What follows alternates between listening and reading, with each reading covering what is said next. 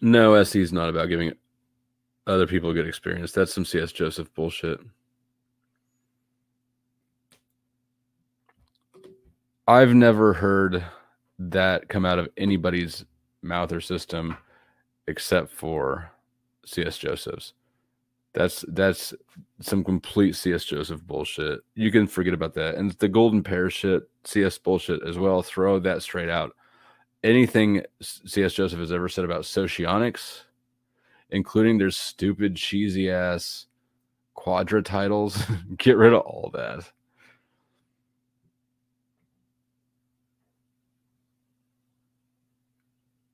What's an excuse for him to talk about sex honestly? And when does he talk about anything honestly, much less sex? The dude does not. The dude doesn't know about sex, and you can feel it on him, right? Like he's, you can feel the. I don't know how to explain it, but you can just tell.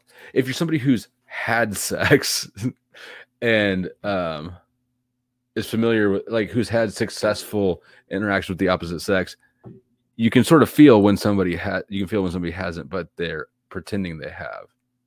And that's him.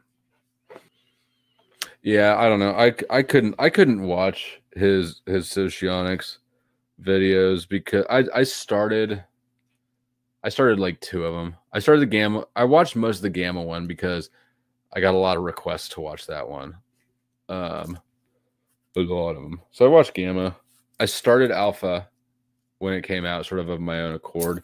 But I had to turn it off real quick because every like every other statement, it'd be like, "What the fuck is he talking about? That's absolutely wrong."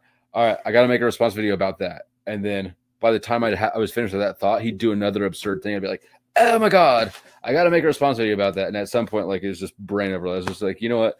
I just got to shove off from this whole thing. I could spend the rest of my life making videos about everything CS Joseph has wrong and trying to correct it it's never going to happen. So I just, I just fucked off all of his Socionics videos. I couldn't even watch them. They're too aggravating.